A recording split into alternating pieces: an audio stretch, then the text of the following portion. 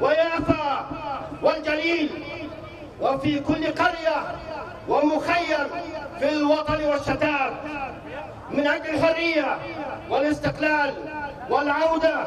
وإقامة الدولة الفلسطينية وعاصمتها القدس كحل مرحلي وإقامة الدولة الفلسطينية وعاصمتها القدس كحل مرحلي لأنه حقي وماضي ومستقبلي الوحيد